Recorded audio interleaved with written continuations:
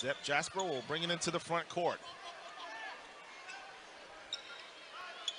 Riller in the paint, Euro step, and the blocking foul is going to go against Tyson Walker.